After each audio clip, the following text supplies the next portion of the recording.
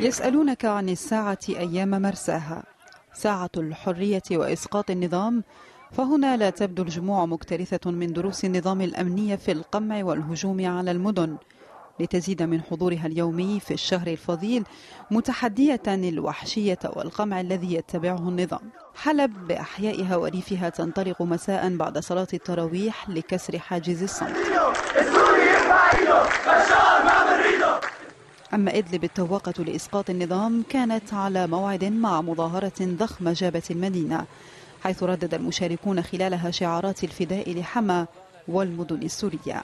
ولم يكن ريف إدلب الخضراء المحاصر من قبل الأمن والشبيحة غائبا عن المظاهرات بل أمطر سوريا بصيحات الحرية في كل من سراقب وبنش وجبل الزاوية وخان شيخون وغيرها.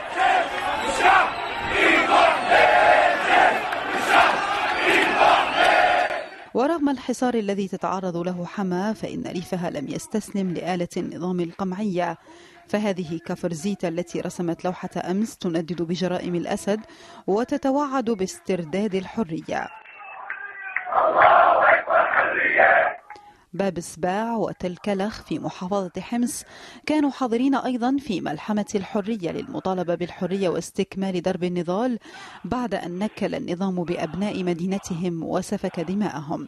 فيما كان حي البستان السمكة في اللاذقية على موعد للتنديد بجرائم النظام. دمشق وريفها وحوران والمناطق الشرقية كلها لم تنسى حمامات الدم والمجازر التي يرتكبها النظام فاستمرت في الخروج ليلا نصرة لمحافظتي حما ودير الزور فيما تستمر جرائم النظام منذ أربعة عقود بحق المواطنين لملاقاة شهب الحرية التي بدأت تشع في سماء البلاد.